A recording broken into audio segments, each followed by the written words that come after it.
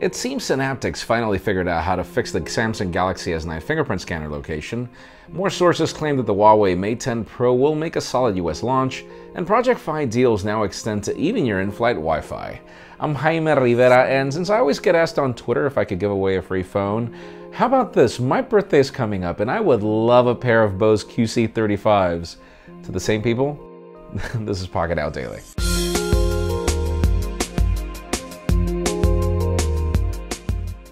The official news today begin with deals as uh, Project Fi continues to surprise us with the things that they provide, particularly when you're roaming, traveling, and now it actually includes in-flight Wi-Fi as the company has just partnered with GoGo and it doesn't provide all in-flight Wi-Fis. You will have to play this game, it's a ski game, and once you finish that you'll get a code, and that will give you free Wi-Fi for the duration of that flight. And we also hear that T-Mobile is partnering with services like GoGo for in-flight Wi-Fi. So all this is great. It works on specific airlines. You can see the list in the description. And speaking of deals, if you're in the market for a smartwatch, remember, one of the ones that I recommend most is the Huawei Watch 2 or Huawei Watch 2 Classic. The Classic being my favorite. And uh, if you're in the market right now, the regular one is 180 and then the Classic is 220 on Best Buy. And this is a great deal. I love that Classic Huawei watch. And speaking of Huawei, for those of you that ask yourselves why are the Huawei Mate flagships not launched in the United States, we talked about some rumors recently where it might launch on AT&T, and uh, as of today, we've gotten more trusted sources that claim just that.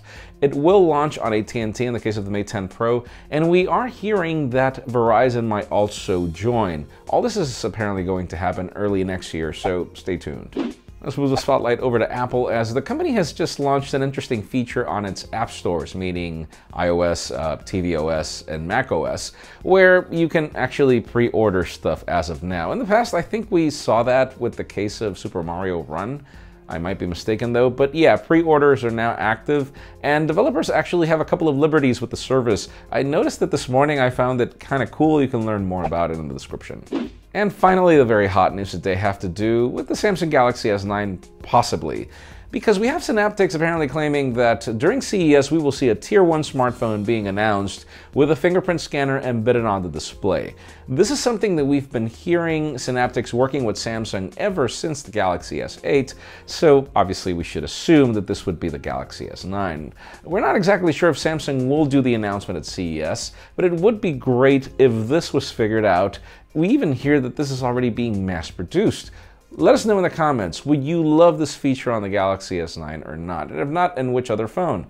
In my case, I feel that every phone should have the fingerprint scanner on the display. That is just my opinion.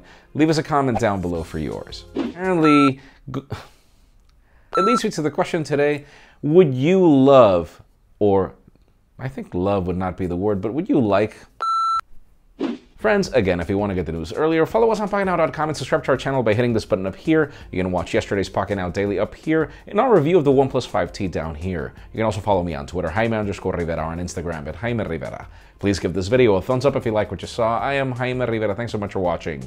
We will see you tomorrow.